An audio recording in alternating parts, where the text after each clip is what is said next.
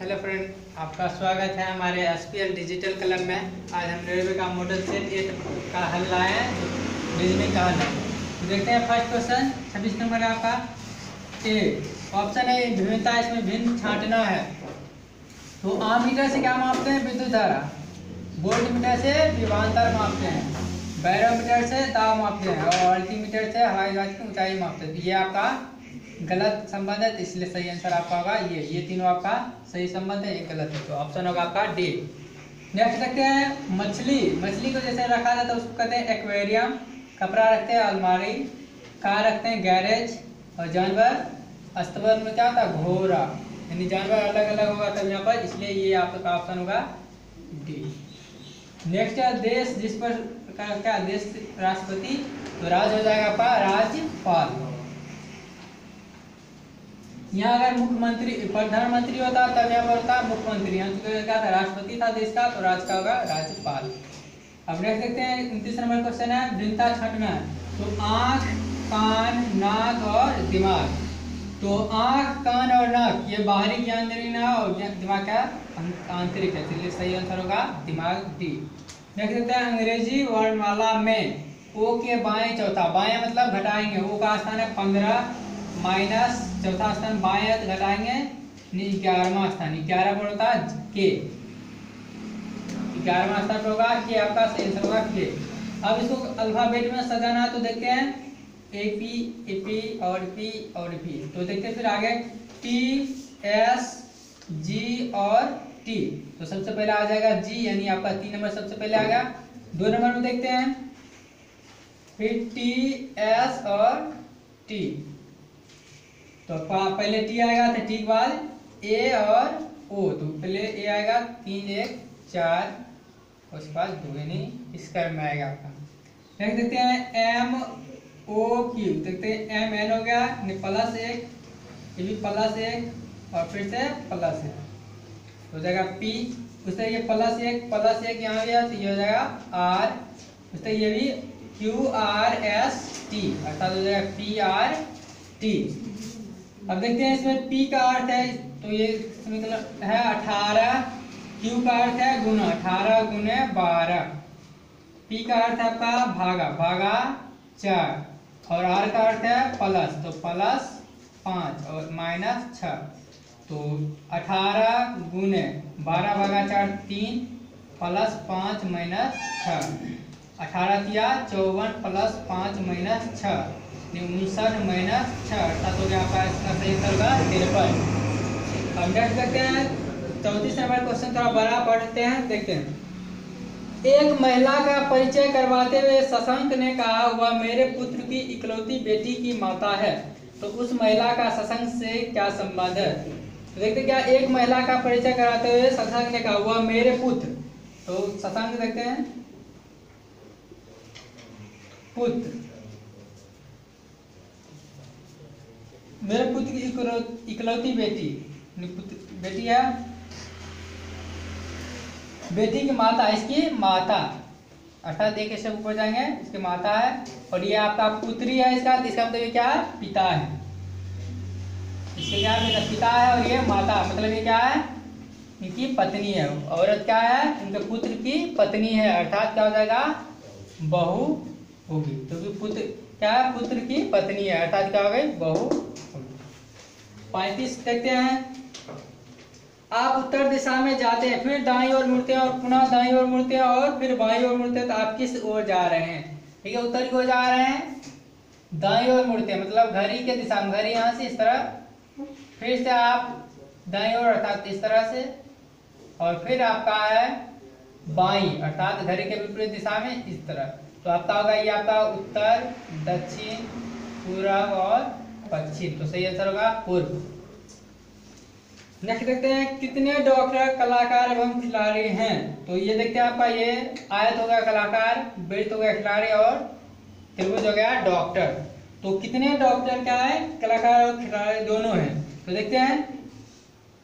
देखते हैं क्या है? कुल मिला पहले देखते हैं। डॉक्टर डॉक्टर है सत्रह, चार, तीन और आठ। तो डॉक्टर देखिए क्या है ये तो सिर्फ़ डॉक्टर हैं और यहाँ क्या है ये कलाकार है और डॉक्टर दोनों है, लेकिन ये क्या है?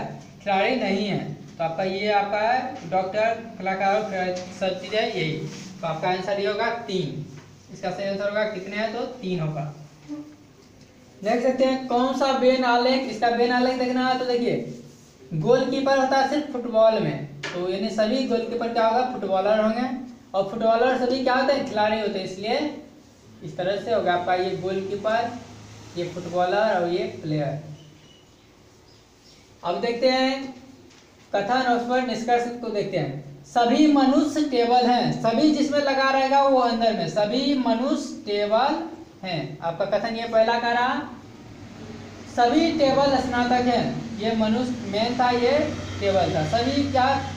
सभी टेबल है टेबल अंदर में आ जाएगा स्नातक के।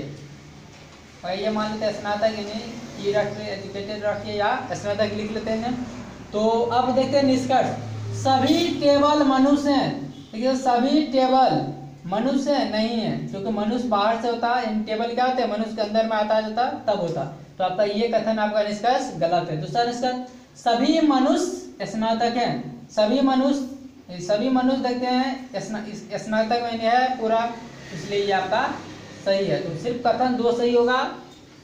अब नेक्स्ट देखते हैं, उनचालीस नंबर क्वेश्चन करस्पॉन्डिंग से कौन सा शब्द बनाया जा सकता है? तो देखते हैं D I S C E R और एन तो ये आपका शब्द बन सकता तो। इनमें से ऑप्शन तो नहीं है, इनमें सभी तो और शब्द क्या होगा? आगे चेक करने की ज़रूरत नहीं है, यही आपका सही होगा। यदि ऑप्शन इनमें सभी भी हो तो अगला ऑप्शन भी चेक कर लें। अब देखते हैं इसका ऑप्शन लकड़ी, किताब, कारखाना, कागज़ और छापना। इसका सही कर्म क्या होगा? तो सबसे पहले देखते हैं, लकड़ी, एक नंबर। इसको ले जाएँगे हम कारखाना में। तीन नंबर, कारखाना में कागज़ तैयार होगा। चार नंबर, कागज़ पर छपाई होगा। उसके बाद तब जाके पुस्तक बनेगा। अर्थात सही करूँगा एक, तीन, चार, पाँच, दो। अब नेक्स्ट क्वेश्चन देखते हैं। ए बी के बाई और पहले पाँचों एक पंक्ति में है तो ए बी के बाई ओर है। ए क्या है? बी के बाई ओर, अर्थात इस साइड है बाया।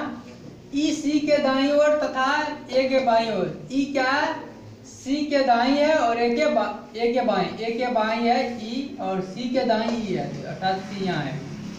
बी डी के बाई ओर है। बी क्या है? डी के बाई ओर, अर्थात डी हो गया बी के दाई ओर, अर्थात इस साइड हो गया। तो मैं क्या क्या पूछ मध्य में कौन सा मकान है? तो मध्य में देखते हैं, आपका दो इधर दो इधर। मध्य में आ गया आपका ए तो सही आंसर होगा ए नेक्स्ट देखते एक पंक्ति में रमन का प्रारंभ से पंद्रहवा स्थान और अंतिम से ग्यारहवा स्थान है कुल कितने लोग हैं उसमें? तो दोनों का क्या कहते हैं? योगफल माइनस एक, यानी पंद्रह प्लस ग्यारह माइनस एक, अर्थात छब्बीस माइनस एक, अर्थात पच्चीस व्यक्ति होंगे इस पंक्ति में। अब इस क्रम में देखते हैं प्लस तीन प्लस चार, यहाँ पर देखते हैं प्लस सात, अर्थात यहाँ पर प्लस छः यहाँ पर प्लस पाँच। हो जाएगा नौ, पाँच, चौदह। सही आंसर होगा, चौदह। अब इसमें कह रहा तीन छः दस, सोलह, इक्कीस और अट्ठाईस। कर्म में नहीं है। तो देखते हैं? प्लस तीन प्लस चार, यहाँ प्लस पाँच होना चाहिए, तब प्लस छः तो दस, पाँच, पंद्रह होना चाहिए, यहाँ पर सोलह है। तो आपका ये होना चाहिए, कर्म आपका गलत है। यानी सोलह होगा इसका सही आंसर अब इसमें देखते हैं, सात दूनी चौदह प्लस दो, यानी सोलह। सोलह दूनी बत्तीस प्लस दो, यानी चौंतीस। और चौंतीस दूनी अड़सठ प्लस दो, अड़सठ दो, सत्तर। अर्थात यहाँ होगा? सत्तर। हम नेक्स्ट क्वेश्चन देखते हैं।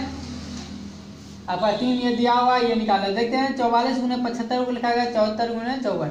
यानी सात, चार, पाँच, चार। इस तरह से लिखा गया। ये पहले ये, तब ये, फिर ये, तब ये। उसी तरह इसमें लिखे, इसमें भी देखते हैं, उसी तरह से छः तीन, पाँच, तीन। छः तीन और पाँच, चार है। फिर देखते हैं, पाँच, दो, पाँच, चार। उसी तरह इसमें हो जाएगा, पाँच, चार, एक, पाँच, चार। चार, एक, पाँच, चार।